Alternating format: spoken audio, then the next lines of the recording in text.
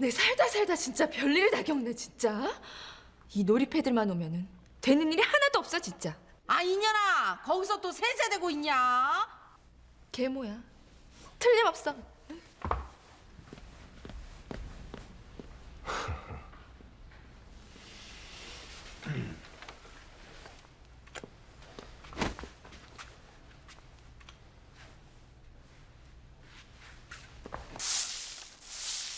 에이 이자든지 뭔지.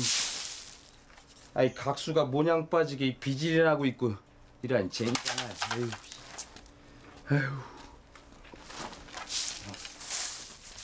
어이, 꼭두새 어르신이 윤기를 찾아오라 하시네.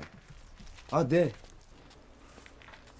아 근데 저 시키가 지가 하면 될 걸 나한테 시키고 지랄이야. 에이.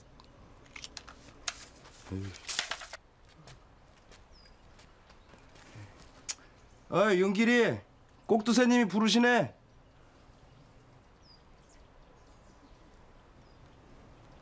윤길이 뭐해?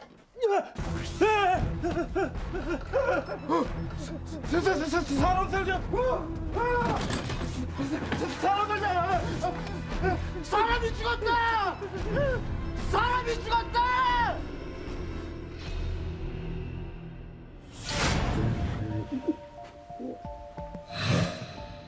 결정적인 사인은 칼에 의한 것이나 머리에도 찰가상이 있습니다. 여기저기 뭔가 손에 묻어있는 하얀 분을 보면 범인과 몸싸움이 있었던 것 같습니다. 목 주변으론 목이 졸린 상처도 보입니다. 벽의 핏자국은 범인이 윤길의 머리를 벽에 찧어서 생긴 자국인 듯합니다.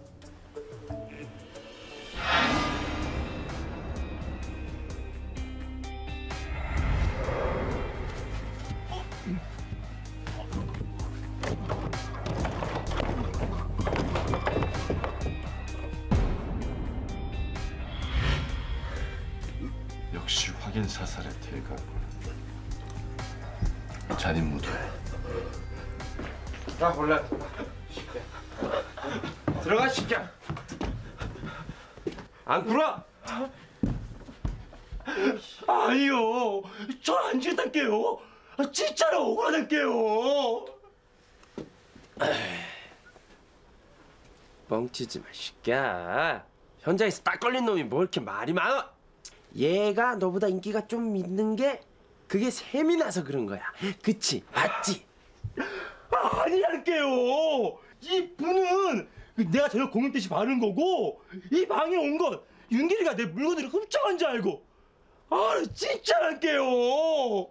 이자는 범인이 아닌 것 같은데 둥구에 나 있는 핏자국은 머리를 벽에 박은 자 그 위로 길게 긁듯이 나 있는 핏자국은 범인이 윤기를 목을 조른 채 그대로 밀어 올렸기 때문인 게야 범인이 윤기를 그렇게 하기 위해선 두 가지 조건이 필요하지 첫째 죽은 윤기보다 키가 한참이나 클 것. 둘째, 보통 체격인 윤기의 목을 조르면서 벽 위로 올려 붙일 수 있을 정도의 괴력을 가진 자.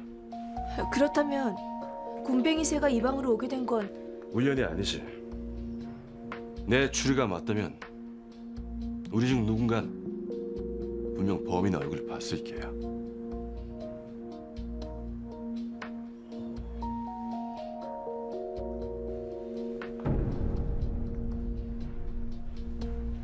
이건 필시 윤길이 남겼을